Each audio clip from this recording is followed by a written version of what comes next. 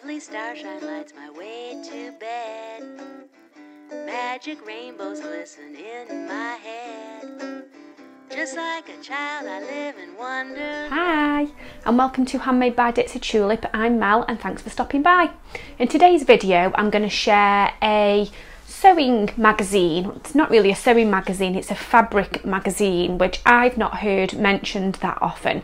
And I tried out a um, issue of it um, November time, I think it was. I'd got a long train journey to Plymouth and I wanted something to read on there. Um, so I thought I would try out this magazine.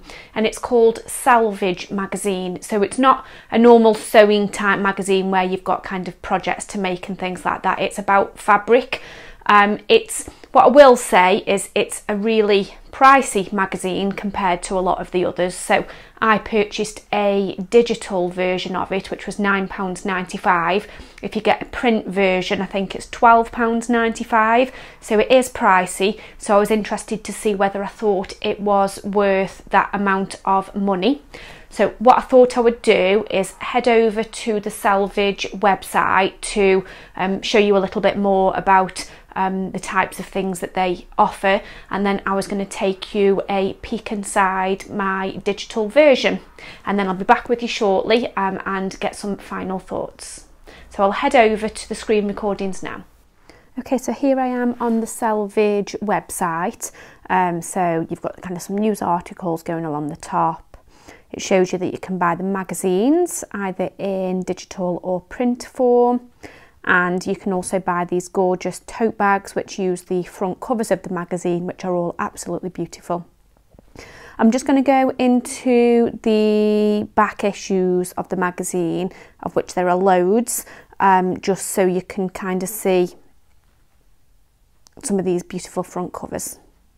So you can see the price there if you buy the whole collection it's nearly £600 pricey. So I'll just whiz through so you can so you can see the photography on these is absolutely beautiful.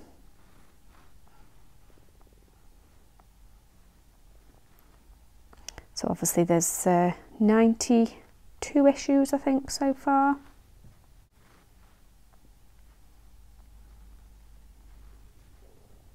I love that red dress, that's really given me an idea um, for a 60s style dress.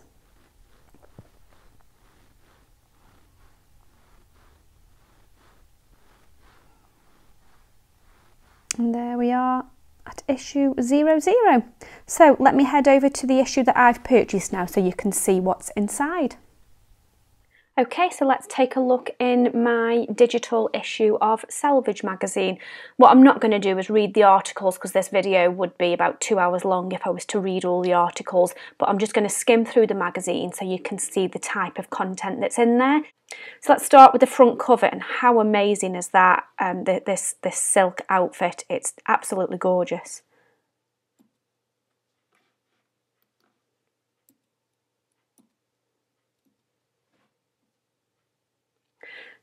This just gives a little bit of information about what this issue is about. So I'll real, will read this bit so you know um, why the content is what it is. Um, and it starts by saying that Made in China 2025 is a government initiative which aims to move China away from being the world's factory producing cheap, low quality goods due to lower labour costs towards producing higher value products and services. This vision for the future is in fact a return to the past, as silk, one of the world's high end fibres, was discovered in China. The oldest examples date to around 3630 BC, and it was originally reserved for the elite. Silk was used as a currency as well as clothing, and the monopoly of the production was closely a, a closely guarded secret for over a thousand years. So that's what this issue is about primarily is about silk and some of the history of silk.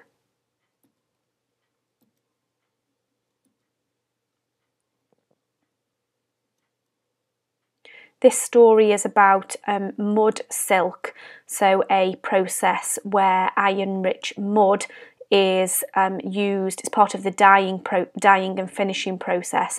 It basically involves spreading iron rich river mud on silk dyed with an extract from the Zhuang root and it's baked in the long hot summer sun for several days. And that's just absolutely beautiful. Just looking at the texture of that silk is amazing. This just um, gives a um, some information about some things that you can research. For example, these um, these dolls here are made from the upcycled waste fabric from clothing manufacturers, and they're handcrafted by Afghan women refugees in India. And you can actually buy buy these dolls. This is just encouraging you when you are buying gifts. Um, bear in mind this issue was pre Christmas to buy less and buy better. So, buying with a conscious, making sure that the things that you buy, um, people have been paid fairly um, for it, etc. Things like that. There's one of those lovely dolls that you can buy. Beautiful photograph there of a silk gown. Um, this article goes into the history of the silk scarf, a um, bit about how it was produced, where, when, and how the silk was used um, as a form of currency.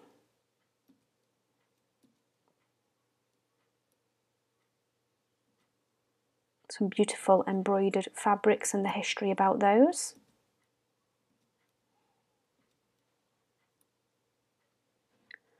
Story about um, people in um, in Afghanistan um, about what they do against all the odds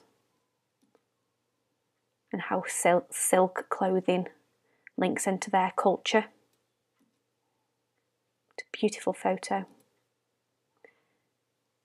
Talks about how embroidery is such a part of their, their lifestyle as well.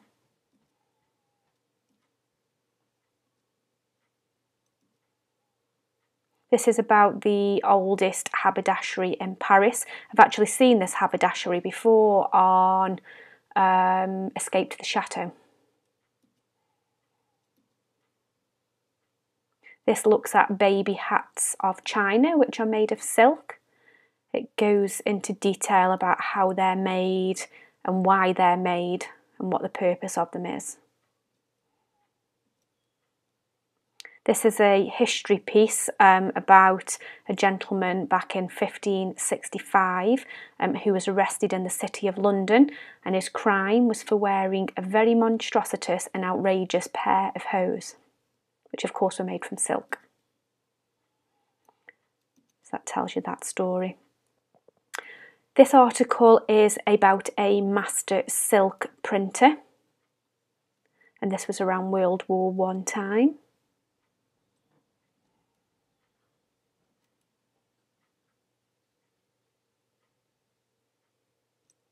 This is the Silk Road. Let's look at those colours.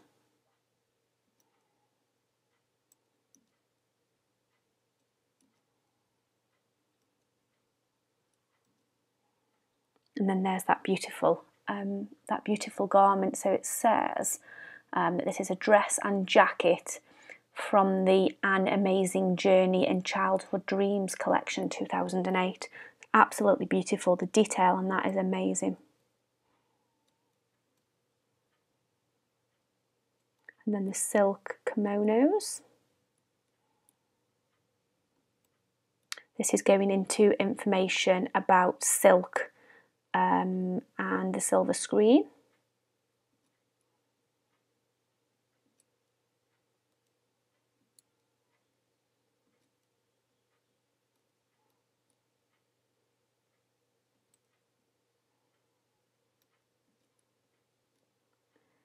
This is just showing inside um, somebody's house who was known as the King of Silk.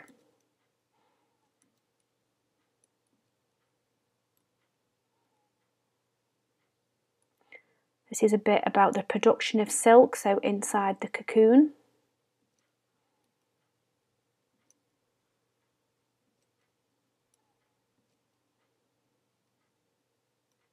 and this is a more modern article. Um, so a the summer house find inspiration in the uh, Rann of Kutch. As it looks like this is what's inspired these garments.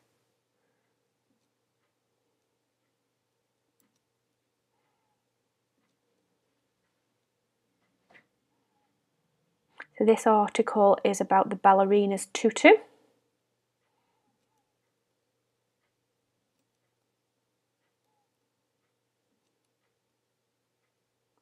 And then inside a gallery.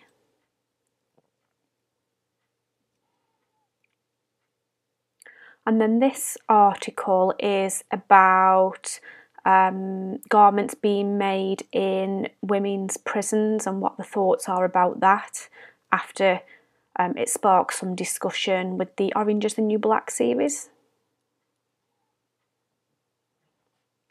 Again, they're a more modern article about how silk is used.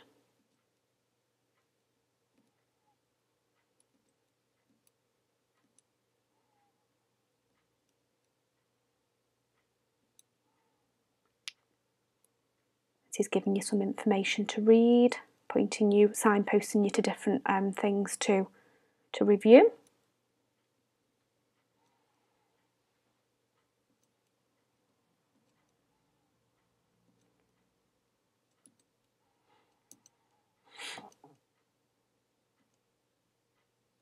A little bit about what's coming next.